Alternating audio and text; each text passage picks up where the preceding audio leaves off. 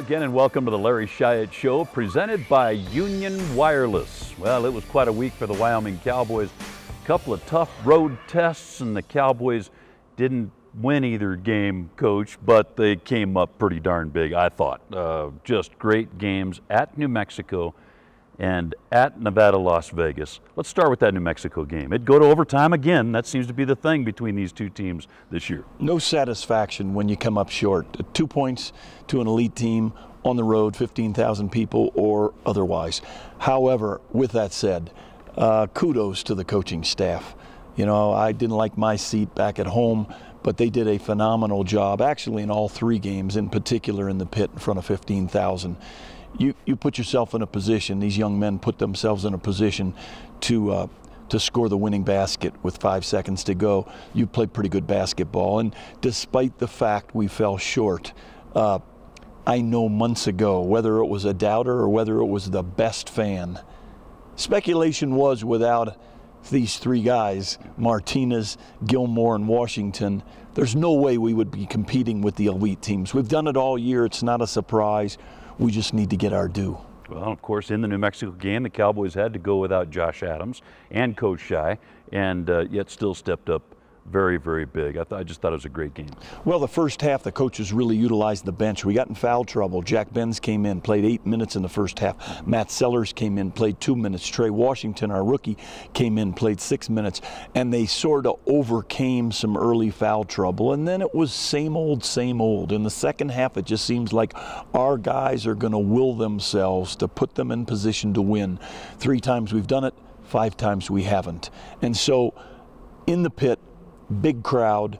I thought we stood the test of time. Well, then on to Nevada, Las Vegas. The Cowboys would traveled to the Thomas and Mack Center for a Saturday night game, and uh, boy, here we go again. That was just a, a outstanding basketball game. You uh, surprised the Cowboys uh, by coming down, and uh, it was a wonderful thing. I happened to just be standing outside the door when you uh, came and kind of surprised the team. You were there. Josh Adams uh, was back on the floor for the Cowboys, and boy, what a basketball game! Cowboys had the basketball late in that one too. Well, uh, we talked to the team both Friday and Saturday at length about the fact that we were going to get their best emotional uh, shot early. Uh, they'd come off a, a, a, weak performance on the road. They're back in town. It's going to be at least 15,000 in there Saturday night in Vegas. I don't have to describe that.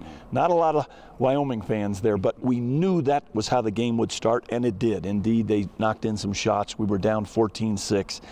Our guys collected themselves again on the defensive end. And somehow they would grind their way back to a two point halftime deficit. I thought the second half, Dave, one of our best halves of the year. We just willed ourselves again and defended so well that they never could run away from us. And then that stop with 47 seconds to play. We needed a stop down two. We got it. Derek Cooke comes up with a big loose ball. We got the ball with 30 seconds. Try to get something for Riley, get a little discombobbled, so I called time. I wanted to make sure they knew what are we going to do when we score the basket, what are we going to do, God forbid we miss. And then I gave them two choices offensively, and they were unanimous. They wanted to go with our smash play, the Nance. They did it very well. The ball didn't go in, so I guess in some eyes that's a failure, but I could not lie to them in the locker room. I told them I'm proud. I told them they're a heck of a team. And I said, quite honestly, every individual in this, in this locker room has gotten better the last two months. That's the sign of a good team. Well, isn't that the truth? And the Cowboys have just matched all these outstanding teams in this league. The UNLV game I thought was so indicative of that. The Cowboy defense just spectacular at this point, and, and really the Cowboy offense coming up, kind of balancing out now. But that defense, let's see, correct me if I'm wrong here, but I think you held UNLV to about 30 below their average in this in this game? We did on their court, which is even more significant. You know, I think it started, Dave, back in November. You're in Columbus in front of 15,000. You're in Boulder in front of a packed house. You're playing elite teams, even SMU when we played here, although not many fans at the game. We knew SMU was a top 20 team. And that, I think, provided our team with a little inner arrogance that, you know what, we can. I don't know when, but we can. Yeah.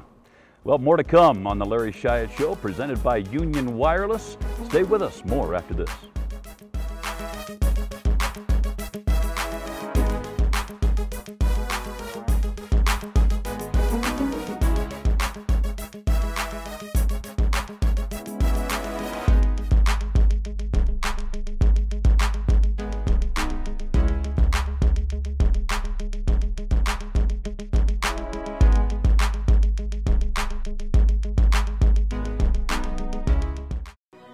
Smartphones. Your connection to the world. The possibilities are unlimited, and your plan should be too. With Unlimited Cube from Union Wireless, get talk, text, and high speed data without limits. Only from Union Wireless.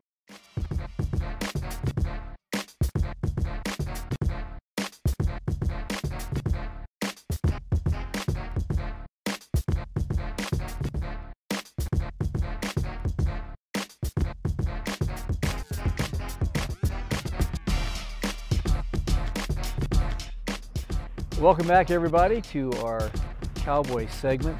Our man today, Riley Grabau, having a great season for the University of Wyoming. And Riley, I know uh, uh, there are some people probably at the start of the year not quite sure how the Cowboys would be this year. And here we are.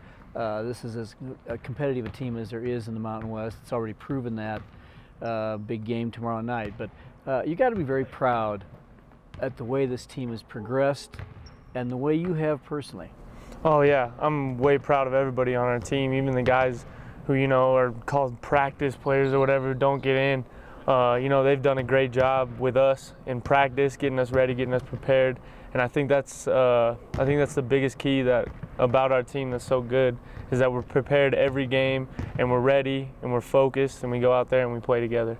You know, I don't think I've ever been around, and I've been around a while, but I've, I've never been around a, a Wyoming team like this one. This is one of the most unique.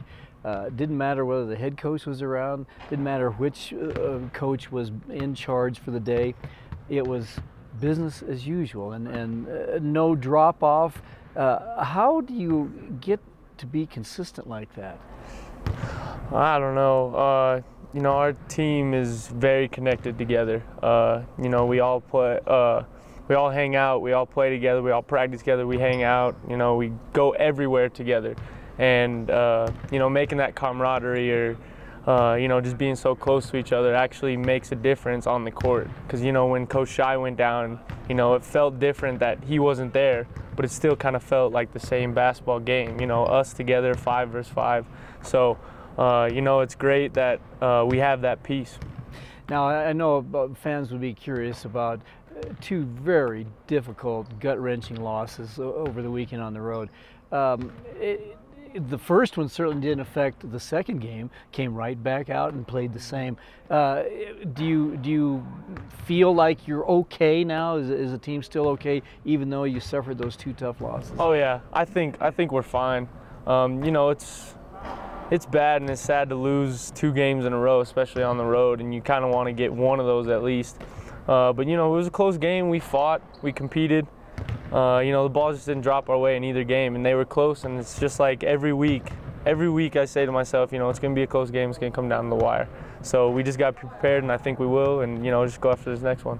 And the next one is a big one. The Aztecs here tomorrow night. Yeah, that's that's going to be a fun game. You know, top team in the nation. Uh, we get to play at our home court. I don't think we go there during the year, so it's good. We only get to play them once, and especially on our home court, so our fans can watch um, you know it's going to be fun. It's going to be exciting. Uh, it's going to be a great opportunity for us. Riley, you had a little tiny little piece there where uh, they weren't dropping for you. And I know watching you and your dad after the Air Force game talk about it, and uh, I love the relationship, by the way, you have with your dad. I'll ask you that in a minute. But um, how does one overcome that. It, it was a, a, point there, they were right around, they were spinning in and out, they weren't going in. How do you mentally handle that? Uh, it's hard, uh, you know, seeing, you know, every shot that I've taken this year has felt good and has looked good, and I thought it was going in every time. And you know that stretch was a that stretch was a struggle, but my dad just kept telling me, you know, keep focused, keep getting in the gym, keep getting shots up, and that's what I did and you know to have a dad like him is just it's, it's incredible really yeah. you know through the years i haven't seen many young guys or gals for that matter have uh, the family support you do and, and uh, mm-hmm. especially with your dad Craig I, he comes to almost all of the games. Uh, what does it mean to you to have uh, your dad there like that? And, and uh, talk about your relationship with him. Uh, words can't describe how much it means to me to see my dad you know in the stands always cheering for me always wanting me to succeed whichever way you know win or lose he just wants me to succeed in any way I do and have fun doing it. And you know, he's he's been my coach since about three years old, maybe four years old, since I could even walk, play basketball. So, I mean, him just going out there, he says it's a playground game, it's a kid's game, it's for entertainment. Uh, you know, don't put too much pressure on yourself because, you know, people buy tickets to come watch you play. It's for entertainment. So, uh, you know, I try to go out there with the mindset of just having fun, uh, playing loose, and always when I see him up in the stands, I always have to always have to smile because he'll smile back. So, it's good though. You know, uh, the coaching staff says you're a coach on the floor, and uh, I, I, think that's awesome. Uh, that basketball IQ came from your dad, or oh, where yeah. did where did that come from? Oh yeah, my dad, my brother, my grandpa my whole family, my grandma, my mom. I mean, uh, we're just a big basketball family, and we talk about basketball all the time. You know, every time we get a chance to dinner, you know, just hanging out watching TV, it's always about basketball. Or any basketball game is on, we're watching it. So, you know, we're all about basketball, and I think that's how I learned. Because we would get in uh, specific situations and see them and play them and learn about them, and my dad would tell me, you know, this and that. So, I mean, I give all my credit to my family and my dad. Could we assume at some point you might be a coach when basketball's over? What would you like to do uh, with your career? I don't know. I haven't given it much thought. I'm going to play. I'm going to play till I can't play no more. So, you know, if that day comes tomorrow, a year, two years, so be it. But yeah, it would be nice to be a coach. All right, Riley Grabau, one of the great Cowboys and uh, putting together quite a career. Congratulations. Okay, buddy. Yep. Dave Walsh will be back with the scouting report on San Diego State tomorrow night and San Jose State on Saturday. When you book at flyfrontier.com, you get great stuff. Like exclusive fares, more miles, a free carry-on. You even get to pick your seat. And everyone likes to pick their seat. I know I do. Once I picked my seat right smack dab in the middle of... Stop! Grizz, we're talking about picking your seat on the plane. Wait, you pick your seat on the plane? Now that's disgusting. Get more perks, lower fees, and a free carry-on. Book today at flyfrontier.com.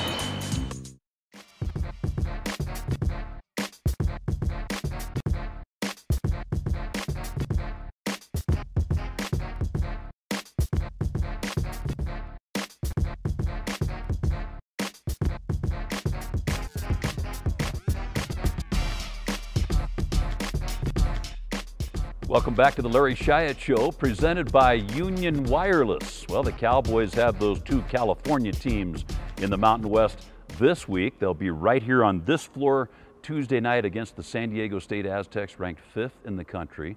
Then on Saturday afternoon, it's out to California to take on the San Jose State Spartans. And who better to find out about these two Mountain West foes than assistant coaches Scott Duncan and Jeremy Shyatt. The associate head coach, Scott Duncan, has the San Diego State Aztecs, and I know that this is a, a team that is very talented. And uh, not only do they do it uh, at the offensive end, but boy, they're good defensively. That's about as much as we know. Tell us more about what makes the San Diego State Aztecs so special, Coach. Well, I think you touched on it. Defensively, they are in the top five in virtually every category, top five in the country, not top five in the Mountain West, top five in the country in virtually every category defensively. They're long, they're athletic, uh, they really, really uh, guard you, and they rebound very, very well. It's uh, maybe the best team that we've played since we've been back to Wyoming. Well, uh, the Cowboys kind of similar defensively. I know they're very close in the con- one, two in the conference. Defensively, you get them on this floor and this has been a place where the Cowboys have upset nationally ranked teams. Uh, seem to get their best shot and the Cowboys' best shot. Well, you know what? I think we're really do. We've played so well in virtually all of our Mountain West games, but in particular the last two uh, games at New Mexico, a loss in overtime, uh, had a good look to win it with four seconds to go, and then, um, you know, a two-point game at UNLV. Uh, so you know we're we're that close, uh, Dave. Hopefully Tuesday we can you know get over the hump on Tuesday, and then that would give us some momentum to finish out the season. Well, make no mistake about it, the Aztecs have some uh, supremely gifted athletes. Uh, I think Xavier Thames is about as good as it gets, and Josh Davis, he's a new addition that really has made them even better. Well, and they have quite a few guys back from last year's team. Obviously, they missed Jamaal, Jamaal Franklin, who's graduated into the NBA, but all of their players have improved. Uh, Thames right now would probably be the leading candidate for the Player of the Year in the conference. Uh, Josh Davis is kind of a combination of Leonard Washington and Cameron Bairstow from New Mexico. Very, very, very gifted player. And the guy that's probably the most improved player on their team is Winston Shepard, who was a freshman last year. He's a 6'8", 1 two, three, four. He plays four positions on the court and has really improved their game, so or his game. So uh, we definitely have our work cut out for us on Tuesday, but uh, we're due hopefully. Absolutely. Cowboys and San Diego State, of course, right here in the Arena Auditorium. The tip-off time is at 9 p.m. Tuesday night.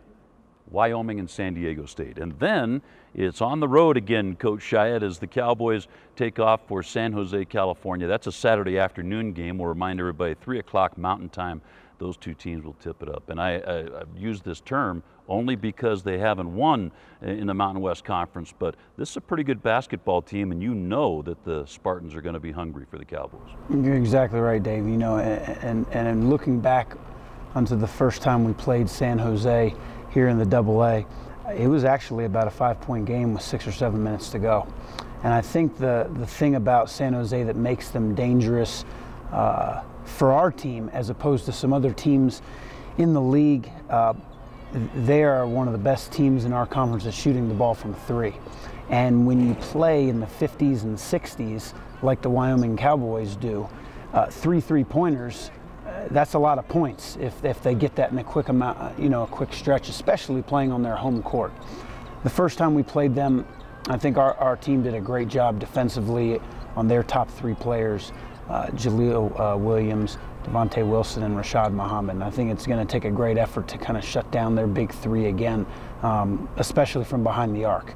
Uh, because, you know, make no mistake, there have been games when they've hit 14 and 15 threes in a game and uh, with the way that we play defense, we, we just can't allow that to happen.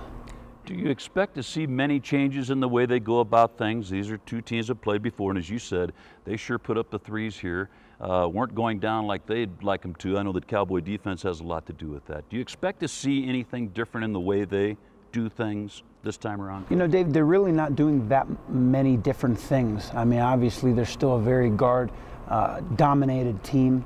Uh, they like to push the pace whenever they can, and obviously we expect them to try to push the pace and create a little more tempo at home versus being uh, here in Wyoming and playing at altitude. Um, but again, I, I don't think it's going to be any different than, than any of our other games have been in the league, and probably come down to the last four or five minutes. And uh, hopefully, you, you, know, with our team, it'll it'll start and end with defense, and we can get a win on the road. And uh, you talk about winning on the road. This is a Cowboy team that certainly is road tested. I mean, they've performed so well, been in so many situations on the road already. That shouldn't be a big problem. I know you're expecting the Cowboys to play well in San Jose. No, I think the great the great thing about our team, whether it's been on the road or at home, whether there's been 100 people in the stands or 15,000 at the pit, our guys play very similarly. They don't let the emotion of the game dictate the way they play. And obviously, you know, playing uh, on Tuesday here at the Double A, hopefully it'll be a different atmosphere than it is uh, Saturday, and our guys are going to have to make the adjustment, and, and, and hopefully they'll, you know, show some consistency. You bet. Well, there you have it. That's the word on the San Diego State Aztecs and the San Jose State Spartans. That's who the Cowboys have this week. We got it from associate head coach Scott Duncan and assistant coach Jeremy Shyatt. We have more to come on the Larry Shyatt Show presented by Union Wireless right after this.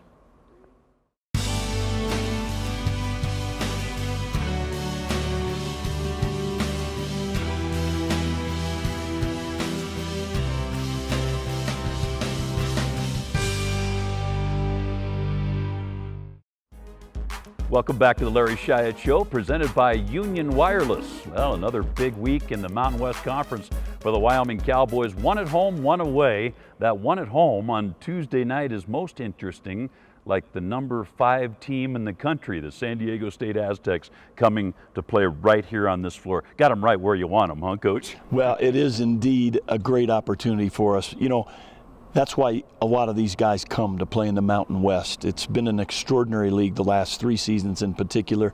You got a unanimous uh, in both polls top five team coming in here, deservedly so. They've acquired some great talent. They have four transfers in their top seven, and those guys are not only good players, they're mature players. They've been around the block. Xavier Thames, perhaps the best player, not only in the Mountain West, perhaps in the country, a fifth year senior transfer from Washington State, Josh Davis Davis, a newcomer, monster on the glass, fifth year transfer. And Fish has put together not just a good staff, not just a good roster, but a team that plays so hard. Uh, we're going to have to be at our very best. Well, and they will defend you like the Cowboys do. The San Diego State Aztecs will defend you. A little more size than us, a little more speed, a little more athleticism, but we got the double A, and hopefully we'll have another great crowd in here. There you go. And uh, I know uh, we don't like doing this necessarily, but we will look ahead to Saturday at San Jose State. That one is a roadie, and that's a 3 o'clock tap time, mountain time, by the way. But uh, there you have the Spartans, who you know are awfully darn hungry. You have to go play them on their floor.